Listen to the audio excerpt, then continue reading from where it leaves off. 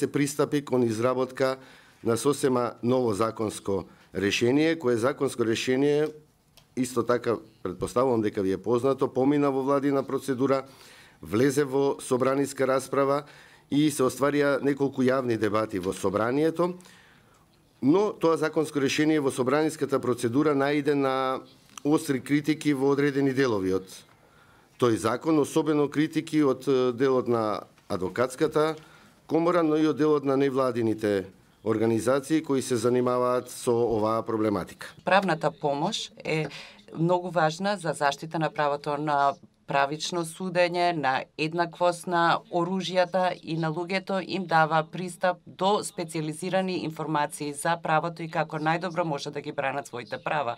На тој начин се обезбедува дека владењето на правото се темели на заштита на човековите права подеднакво за сите, мажи, жени и деца.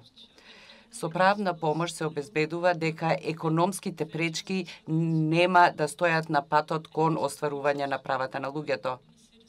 И им овозможува на граѓаните да ги разберат своите права.